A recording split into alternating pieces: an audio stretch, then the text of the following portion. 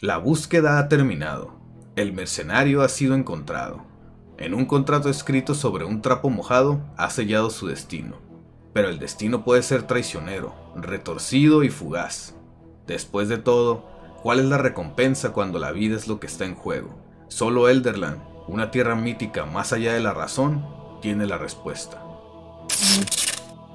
La creación de personaje me tomó por sorpresa porque no recuerdo haber jugado ningún Metroidvania que ofreciera personalización. Es bastante sencilla pero aún así me pareció un interesante detalle.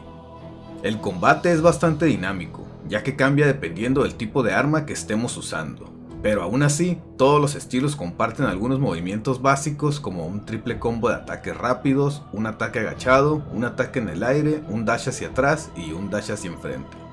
Nuestro personaje contará con tres barras de recurso, la de maná que se consume cuando usamos ataques mágicos, la de energía que se consume cuando hacemos un bloqueo o usamos dashes y la de vida, que si se acaba estaremos muertos. Como había mencionado antes, el estilo de combate cambia dependiendo del arma que portemos. Hay cuatro arquetipos diferentes y cada uno tiene una mecánica especial.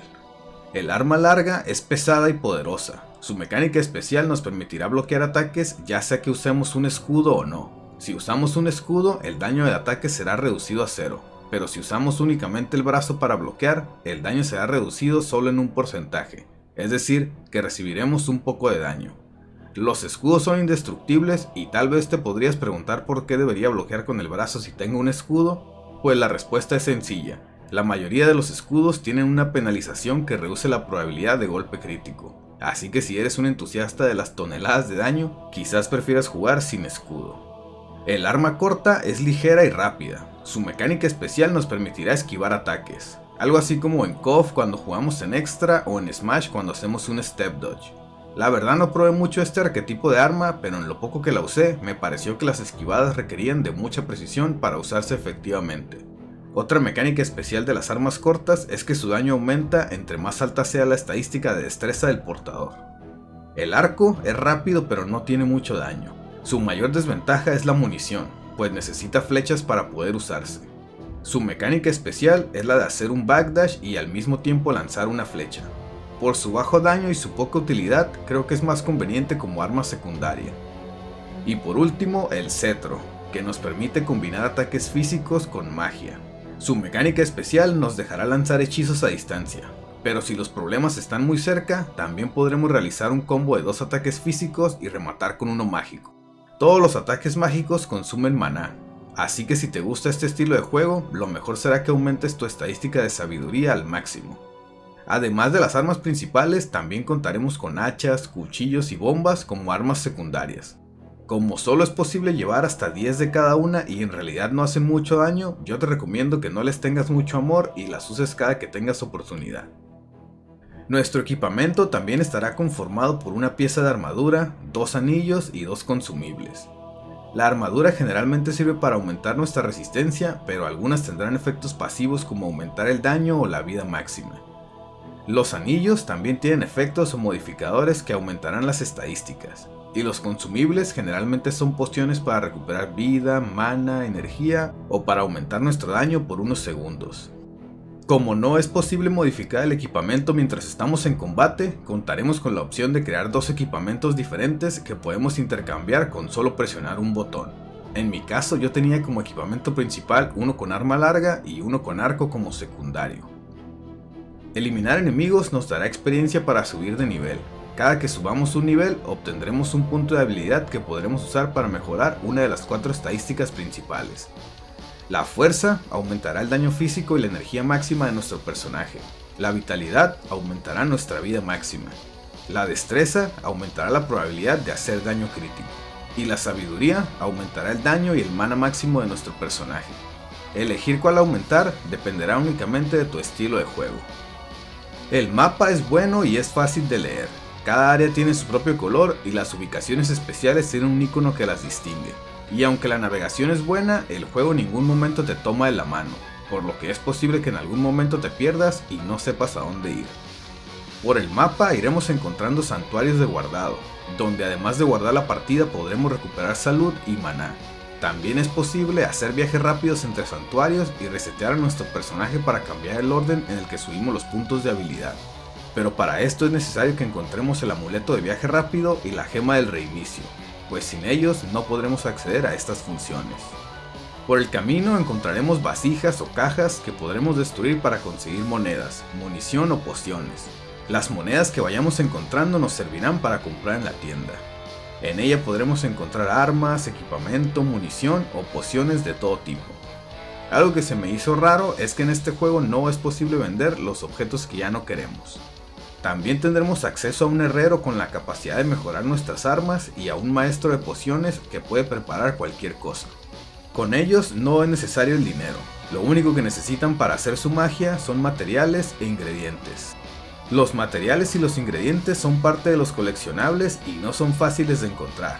Generalmente se encuentran en lugares difíciles de alcanzar o escondidos detrás de alguna pared secreta.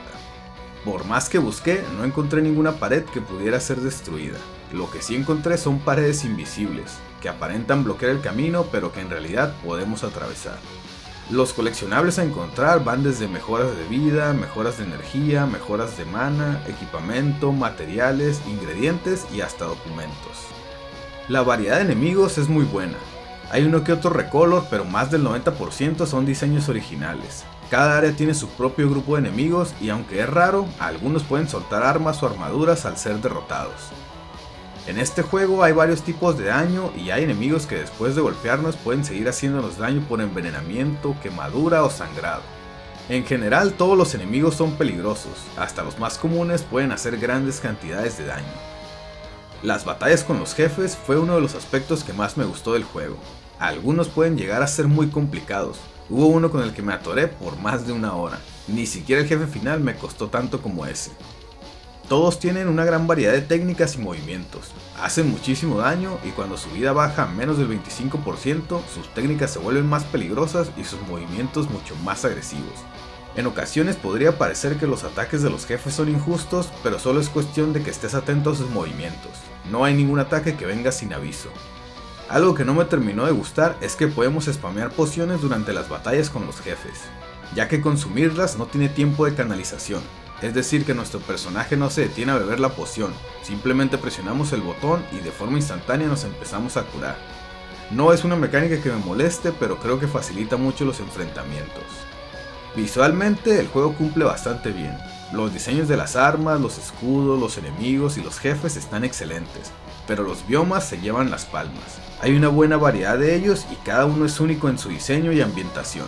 Algo que me gustó es que podemos ver las armas que llevamos equipadas sobre nuestro personaje en todo momento. Me hubiera gustado que también pudiéramos ver las armaduras, pero supongo que no se puede todo en la vida. La música es muy buena, cada área usa un género diferente y hace un excelente trabajo de ambientación. Mis canciones favoritas son las del menú principal y la que suena cuando enfrentamos a un jefe.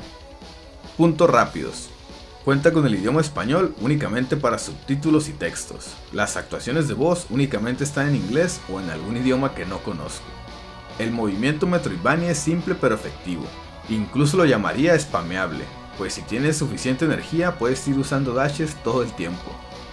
El juego ofrece muchísima rejugabilidad, principalmente porque es posible jugarlo de diferentes maneras, con diferentes armas y subiendo diferentes estadísticas, pero también porque cuenta con tres finales. Por más que lo intenté, no pude encontrar ninguna forma de cancelar ataques o animaciones. Sé que normalmente este tipo de cosas son errores en la programación, pero para mí hacen que el combate sea mucho más profundo. En conclusión, Elderland es un excelente Metroidvania. Tiene un buen sistema de combate, buen movimiento, mucha exploración, buen nivel de desafío y mucha rejugabilidad. Si tuviera que quejarme de algo, diría que la historia no es muy interesante pero la jugabilidad es lo suficientemente buena como para tapar ese agujero. Si te gustan los Metroidvania con enfoque en el combate y elementos RPG, este es un título que vale mucho la pena. Y esto ha sido todo. Muchas gracias por ver el video. Yo soy el tío Totis. Hasta la próxima.